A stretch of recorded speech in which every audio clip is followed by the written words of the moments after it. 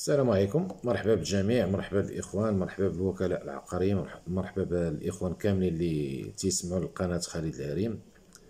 اليوم تنازلا عن بعض الإخوان للاستفاده العامة. غادي نهضروا على أراضي ديال الجيش. نهضروا على الخصائص القانونية لأراضي الجيش. تتنقسم إلى أقسام.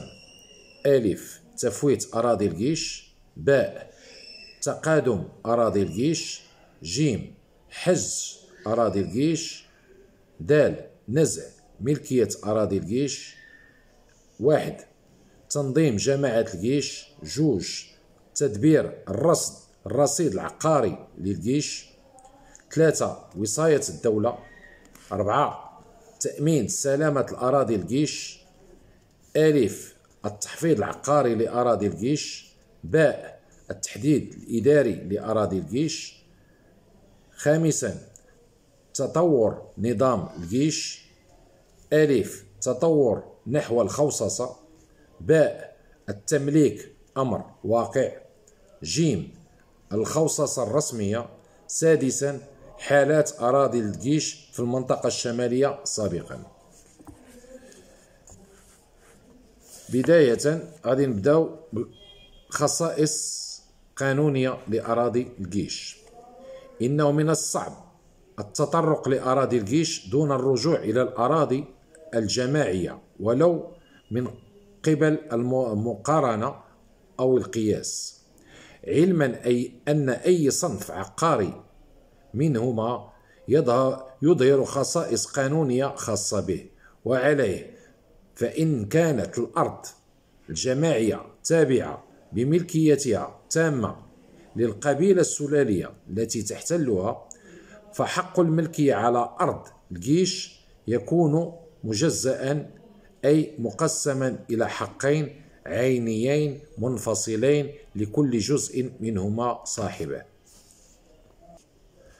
حق الرقبة تابع لملك الدولة الخاص حق الانتفاع ممنوح بصفة دائمة لجماعة الجيش. إن تقسيم حق الملكية يجعل من نظام الجيش العقاري نظاما مزدوجا له تفرعات في نفس في نفس الوقت مع النظام القانوني للأملاك الدولة ومع النظام القانوني الجماعي. وهكذا فهناك إدارتان تقتسمان الاختصاصات في هذا القطاع ولكل واحدة منهما مجالها للتدخل. وزارة المالية إدارة أملاك الدولة بالنسبة لكل ما له علاقة بالجانب القانوني للأراضي. وزارة الداخلية مديرية الشؤون القروية من أجل التدبير والمراقبة والدفاع عن مصالح جماعة الجيش. انطلاقا من هذه الازدواجية ومن تشابه الجيش مع النظام الجماعي. فممتلكات الجيش تعتبر غير قابلة للتفويت ولا للحجز ولا يسري عليها التقادم. إن تطبيق هذه الخصائص القانونية الأساسية التي تبدو واضحة وبدون التباس تصبح قابلة للنقاش في غياب التعيين المادي والقانوني لجزء كبير من هذه الأراضي. ألف تفويت أراضي الجيش. ليست جماعة الجيش مالكة للأراضي التي تقيم عليها. إنها صاحبة حق الانتفاع الدائم الذي يمنح للمستفيدين السكن والموارد. وليس لها صلاحية التفويت بمحض إرادتها لجزء من الأرض ولا لحصة معينة من حق الانتفاع الدائم الذي تستفيد منه.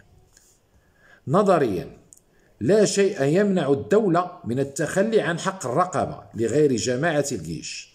لكن من يقبل شراء حق لا يخول له حق التصرف فيه. بالعكس التخويل له الحق التخويل لحق الرقبة إلى جماعة الجيش يسمح لها بالتملك في نفس الوقت بحق الرقبة وبحق الانتفاع على الأرض. هذه الوضعية تجعلها شبيهة بالجماعة السلالية لا سيما وأن الالتزامات جماعة الجيش لم تعد قائمة. إن تفويت عقار الجيش للغير شخص عمومي أو خاص يتطلب إذن مدبر ملك الدولة الخاص وزير المالية. موافقة سلطة الوصاية على أراضي الجيش وزير الداخلية. واعتماد جماعة الجيش وفي حالة عدم الحصول على اتفاق ودي فإن وإن اقتضى الحال يتم اللجوء إلى نزع الملكية. إلا إن تصرف صاحب الوصاية بمفردة بناء على الفصل 5 من ظاهر 27 أبريل 1919 كما تمت الإشارة إليه سابقا نص القانون على تدابير مخالفة لمنح تفويت الأراضي الجيش الجماعية غير أن صال أن حالة أرض الجيش مختلفة بما أن حق الرقبة يعود لملك الدولة الخاص. ولأن حق الانتفاع الدائم الذي ينتقل من جيل إلى جيل فإن تفويته مقابل تعويض لذوي الحقوق الحاضرين بعين المكان قد يحرم ذريتهم من حق من حق اكتسبوه لأجيال. لكن إذا غادر الأشخاص الذين استفادوا من التعويض الأرض التي كانوا يحتلونها فما مصير ورثتهم الذين بلغوا سن الرشد. وجاءوا يطالبون بحق لا وجود له إلا في ذاكرتهم.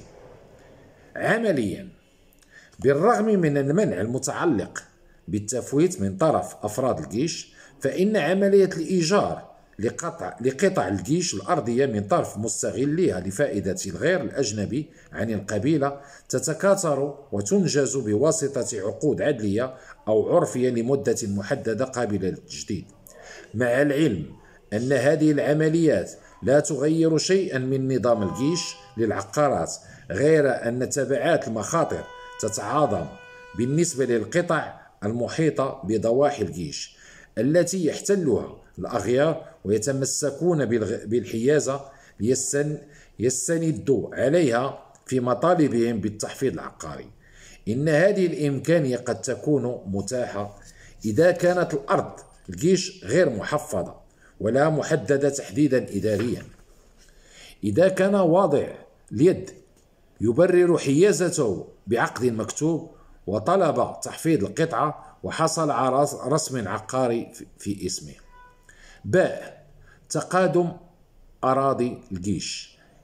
كما هو الشأن بالنسبة للأراضي الجماعية فإن أراضي الجيش لا يسري عليها التقادم قانونيا وعمليا.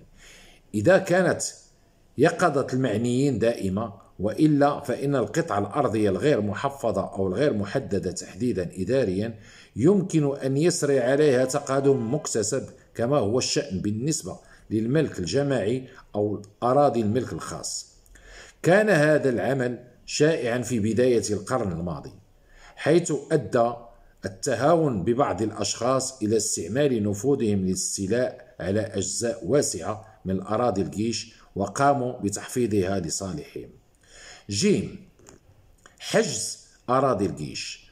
ما تقدم ذكره في موضوع الحجز بالنسبة للأراضي الجماعية يصلح أيضا للأراضي الجيش. فلا حق للرقبة فلا حق الرقبة الذي بيد الدولة ولا حق الانتفاع الذي تمتلك الجماعة قابلتين للرهن الرسمي أو الرهن الحيازي. ولا يمكن أن يسري عليهما الحز من أي كان من الدائنين. ويمكن لهؤلاء الدائنين عند الاقتضاء أن يستردوا حقوقهم بالحز على المنقولات أو الماشية من المنتمي للجيش المتقل بالدين. دال نزع الملكية أراضي الجيش. بما أن أراضي الجيش غير قابلة للتفويت ولا للحز يبقى نزع الملكية هو الطريق القانوني الأكثر سهولة والأكثر فعالية لفرض التخلي عنها. مع ذلك بسبب تجزئة حق الملكية هل يمكن نزع الملكية؟ القطعة التابعة للجيش بكاملها حق انتفاع وحق الرقبة أو حق الانتفاع فقط. هل يدفع التعويض نزع الملكية؟ كيفما كان مبلغه؟ لمستغل القطعة أن يدفع جزء من منه للدولة وجزء آخر للجماعة هل سيبقى المحتل للقطعة موضوع نزع الملكية عضوا في القبيلة؟ إن النصوص لا توضح له أنه متى تم التعويض المستغل فإنه يفقد انتماءه لجماعة الجيش. أو أنه إذا ما احتفظ به بهذه الصفة فهل له الحق في الاستفادة من حق الانتفاع على قطعة جديدة. فمع الاستقرار أراضي الجيش يكون من الصعب منح قطعة جديدة للأشخاص المبعدين الذين كثيرا ما يطلب منهم مغادرة الأمكنة بعد تعويضهم. فالواقع أن مغادرتهم لا تمنح ذريتهم الذين بلغوا سن الرشد من المطالب بحقهم في الانتفاع بقطعة أو المطالب بمكافأة جديدة. شكرا لكم لكم. آه إلى فيديو آخر. باش يكونوا الفيديوهات صغار ونتمنى لكم تابوناو في لاشين ديال خالد الهريم باش توصلوا بالمعطيات القانونية والمعطيات آه القانونية بصفة عامة والمداخلات السياسية. وشكرا لكم.